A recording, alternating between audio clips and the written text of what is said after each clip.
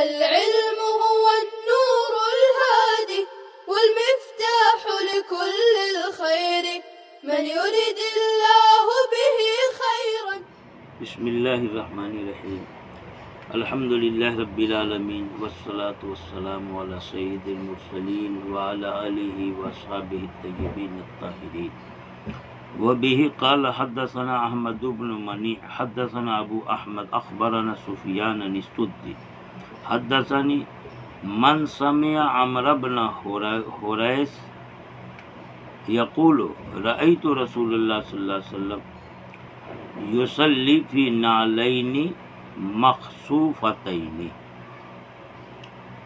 अज़ीज़ तलबा शुद्धि रावी हैं जो कहते हैं कि मुझसे, उस शख्स ने हदीस बयान की जिसने अम्र बिन हुरैस से सुना।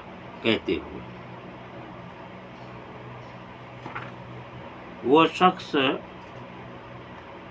कौन है जिसने अम्र बिन हुरैस को ये बात इशाद फरमाते हुए सुना और फिर उसने शुद्धि से वो बात बयान फरमाई?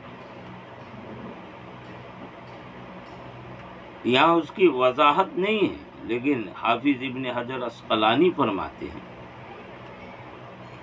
कि नाम की सराहत तो रिवायत में नहीं है, मगर मेरा गुमान ये है कि वो आता बिन साहिब है।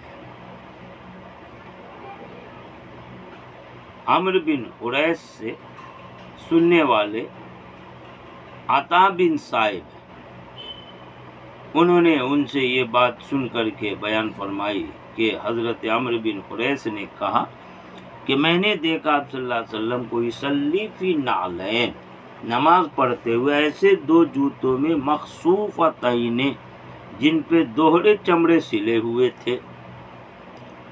मखसूफ़तैन या खसफुन से है, ज़राबा से, जिसके माने जूते पर मज़ीद चमड़ा चढ़ाना सी देना टाँक देना। मखसूफ ऐसे जूते को कहते हैं, जिनमें पैबंद लगे हुए हों, यानी डबल चमड़े, जूते के टूट जाने, घिस जाने की वजह से डबल चमड़े चढ़ा दिए गए हों। गरज ये कि दोहरे चमड़े सिले हुए जूते। वो दोहरे चमड़े जो सिले हुए थे डबल, ये तल्ले में वो चमड़ा दोहरा लगा हुआ था। आमतौर पर मजबूती के लिए तल्ले में दोहरा चमड़ा डाल देते हैं। या ये कि टूट जाने की वजह से मजीद उस पर पैबंद के तौर पर चमड़ा जड़ दिया गया था, सिल दिया गया था। बहरहाल, दोहरे चमड़े वाले दो जूतों में मैंने हजूर को नमाज़ पढ़ते हुए देखा। सवाल यह है कि जूते में नमाज़ हुजूर ने जवाज को बताने के लिए ऐसा किया। पंचगाना नमाज़ हो और जूते साफ़ सुथरे, नजासत वगैरह से पाक हो तो पाक साफ़ जूते में अगर नमाज़ पढ़ ली जाए तो अदब के ख़िलाफ़ तो है, लेकिन जायज़ है। बयान जवाज के लिए हुजूर ने ऐसा किया। या ये कि यहाँ जूते में नमाज़ पढ़ना से मुराद रुकू सजदे वाली वो कामिल नमाज़ नहीं है, बल्कि नमाज़ जनासा है। कि जनाजे की नमाज़ आप जूते पहने हुए पढ़ लिए, जैसा कि आप मसला इसी है। आगे की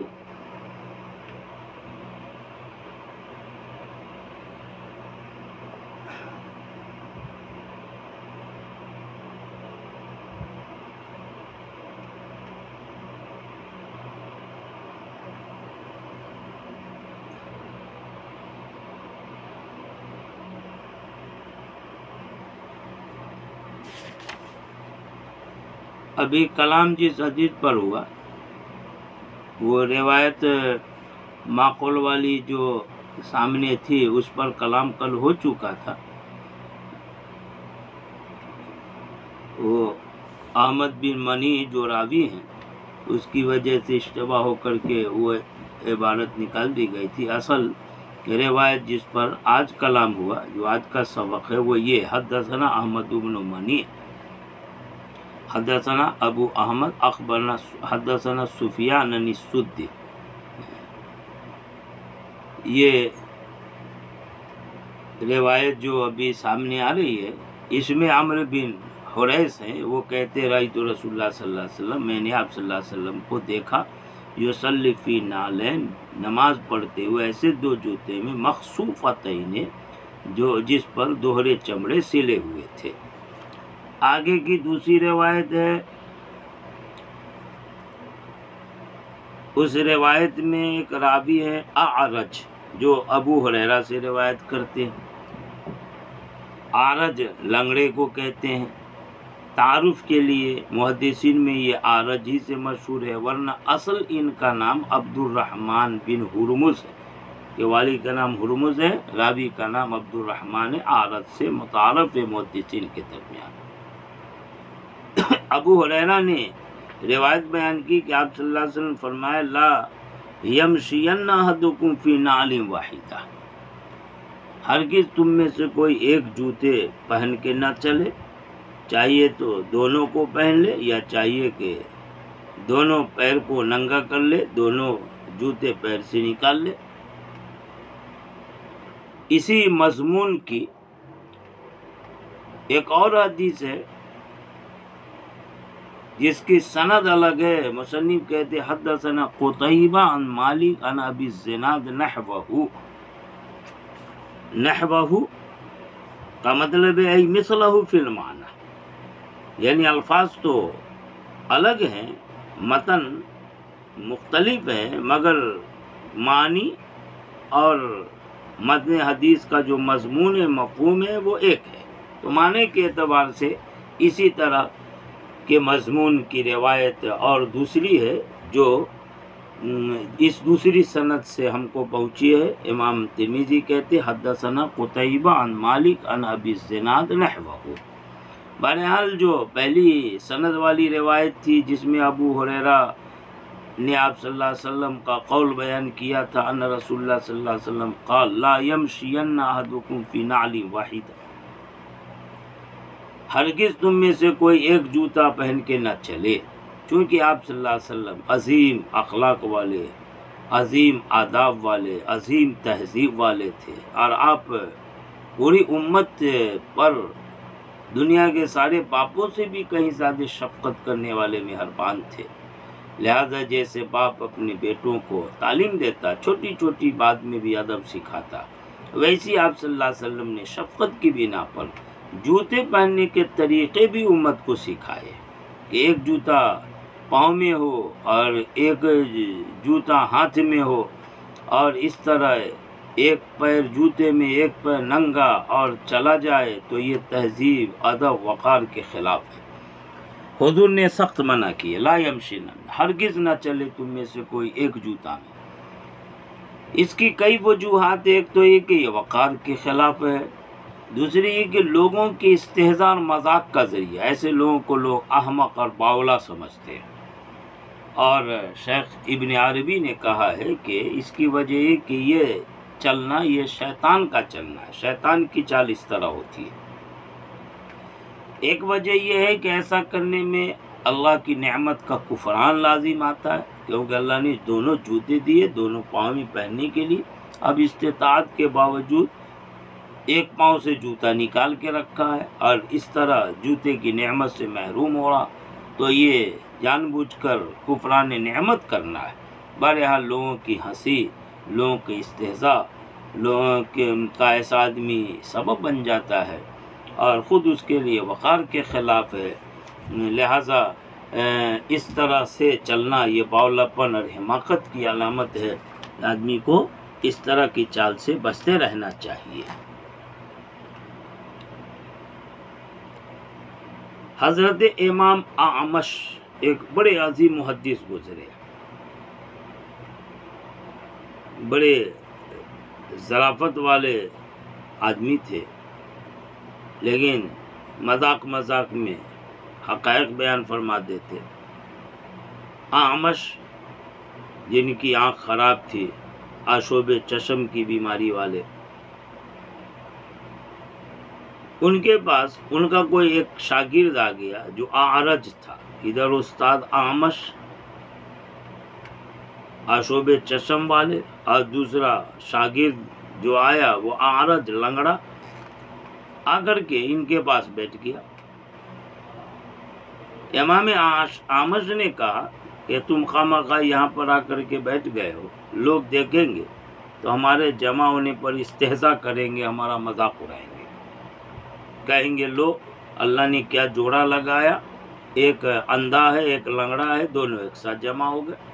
तो शागिद ने कहा, इससे हमारा क्या? लोगों को हंसने दे, मज़ाक उड़ाने दे।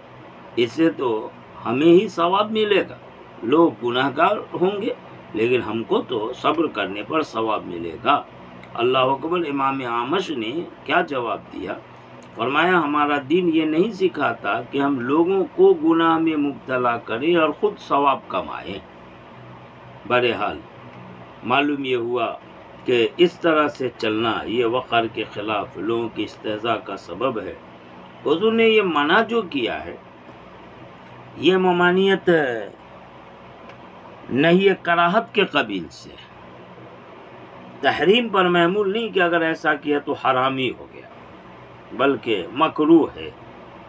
हाँ अगर किसी वजह, उज्र या ज़रूरत की वजह से ऐसा करता है तो फिर उसमें वो कराहत भी बाकी नहीं रहती है। उज्र की वजह से तो ज़रूरत की वजह से तो ममनू चीज़ भी मुबाह हो जाया करती है। आगे की रिवायत।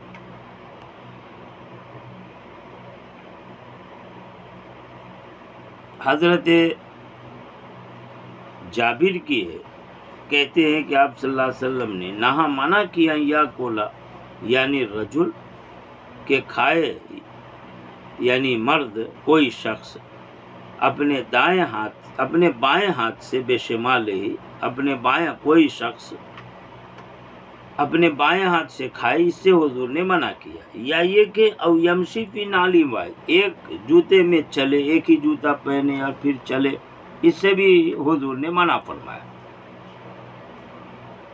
इमाम अहमद बिन हम्बल इमाम मालिक रमतुल्लाह अलैह, ये हजरात फरमाते हैं कि बाएँ हाथ से खाना ये मकरू तहरीमी है, कराते तहरीम पर ही, ये नहीं महमूल है। अलबत् इमाम शाफी कहते हैं कि ये मकरू तहरीमी नहीं, मकरू तनजीही है ये नहीं कराते तंजीह पर महमूल है। हज़रत शेख जकरिया रमतुल्लाह अलैह